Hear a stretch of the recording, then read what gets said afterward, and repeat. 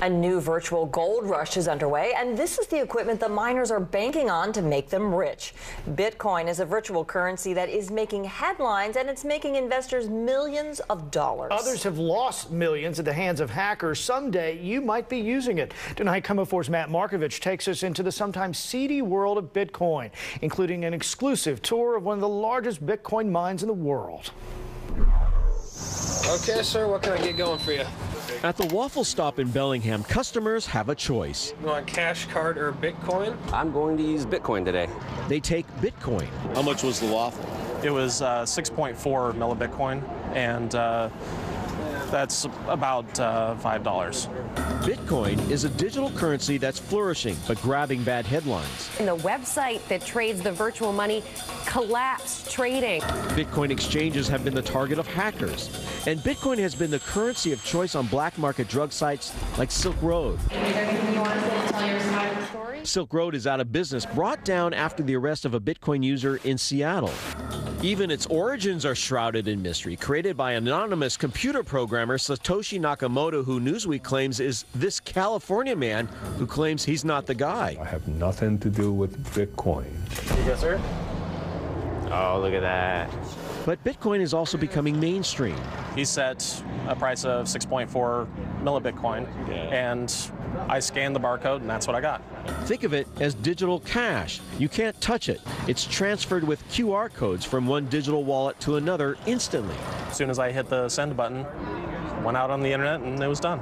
There's no bank, no transaction fees, Bitcoin is an amazing idea. And people are making fortunes. We're probably making right now about $8 million a month in Bitcoin. Sounds too good to be true. $8 million a month. It just may be. Selling Bitcoin at 630. To understand Bitcoin, compare it to gold miners trying to find gold before the other guy does. Bitcoin is the same way, but replace the pick and shovel with a computer.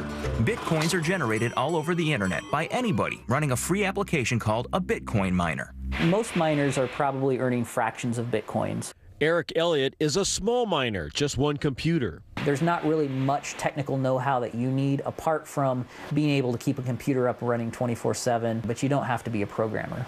When he started in 2011, he earned one Bitcoin a day. At the time, it was worth about 20 bucks. But now the math is harder, and like gold, Bitcoin's harder to mine and find.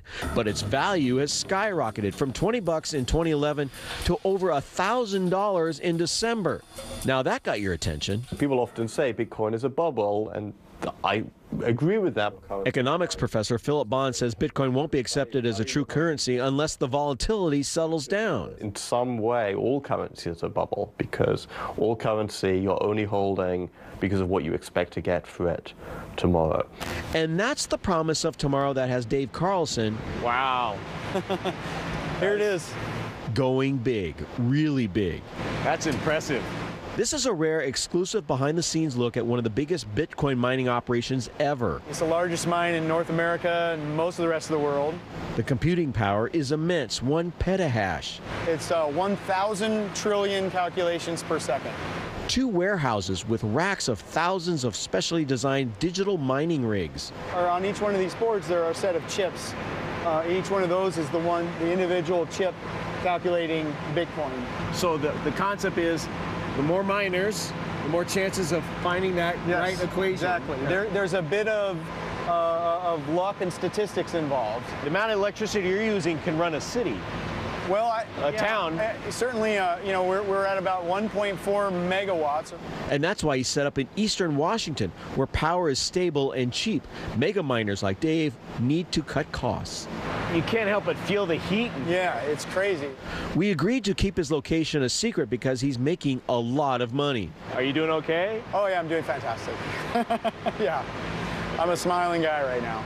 When we were there, he said his rigs were making $8 million worth of Bitcoin a month. In the Bitcoin world, that's a staggering amount. This is speculation. It's really It's a lot of not, not much different than any other gold rush in our history. And then and we're absolutely running as fast as we can to grow. But here's the miner's dilemma. When do you translate that into dollars? Compound that with recent news that Mt. Gox in Japan, an exchange that converts bitcoins to dollars, was hacked and shut down. Investors lost nearly a half a billion dollars. Pay cash card or Bitcoin? Despite the bad news, Bitcoin will still be accepted at the waffle stop. Uh, we believe in the system. They're banking Bitcoin will be digital gold. We will definitely be back with our Bitcoin. Matt Markovich, KOMO 4 News. And experts say the best way to get Bitcoin is to buy it at a Bitcoin exchange. Mining has just become too difficult. And last check, one Bitcoin was trading at $670. To think I have trouble balancing my checkbook. I'll stay away from the Telling you, all right.